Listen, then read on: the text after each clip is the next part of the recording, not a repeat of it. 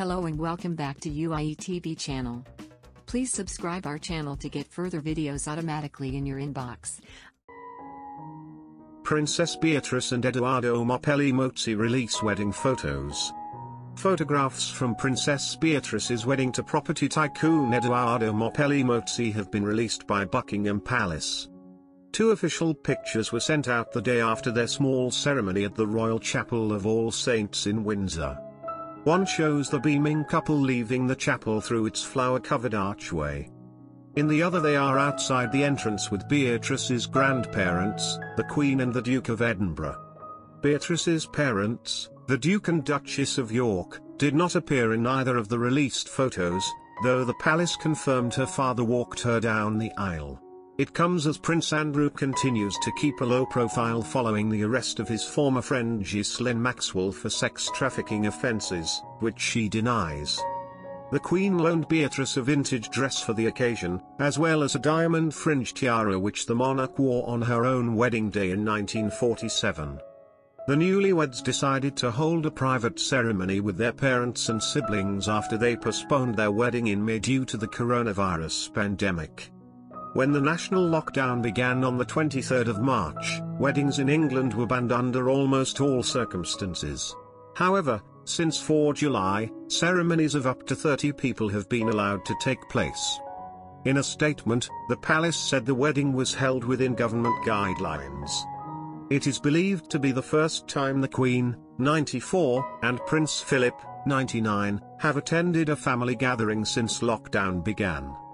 For the ceremony, Beatrice wore a vintage Peau de Soie taffeta dress, in shades of ivory by Norman Hartnell, on loan from the Queen, and trimmed with Duchess satin and encrusted with diamante. The dress was remodeled and fitted by the Queen's senior dresser Angela Kelly and designer Stuart Parvin, according to Buckingham Palace. Beatrice, who is ninth in line to the throne, also wore the Queen Mary diamond Fringe tiara loaned to her by her grandmother. Beatrice, 31, and Mr. Mapelli Mozzi, 35, had originally planned to marry on the 29th of May this year at the Chapel Royal, St James Palace, in London. The new venue of Royal Lodge in Windsor Great Park, a short drive from Windsor Castle, is Beatrice's childhood home. Her parents still live at the property.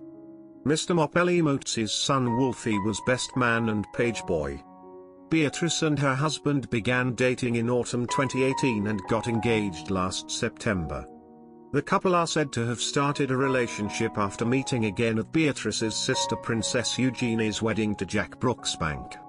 After Friday's ceremony, Beatrice's wedding bouquet was placed on the tomb of the unknown warrior in Westminster Abbey, as is tradition for royal brides. The bouquet was fashioned out of trailing jasmine, pale pink and cream sweet peas, royal porcelain ivory spray roses, pink O'Hara garden roses, pink wax flower, baby pink astilbe and, in keeping with royal tradition, sprigs of myrtle. The Reverend Canon Anthony Ball laid the bouquet with Toby Wright, the son of the subdean of the Chapel Royal, Reverend Paul Wright. Thanks for watching Universal Information and Entertainment TV. Please like and subscribe our channel for more updated videos, news, information and entertainment. See you in next video. Stay tuned.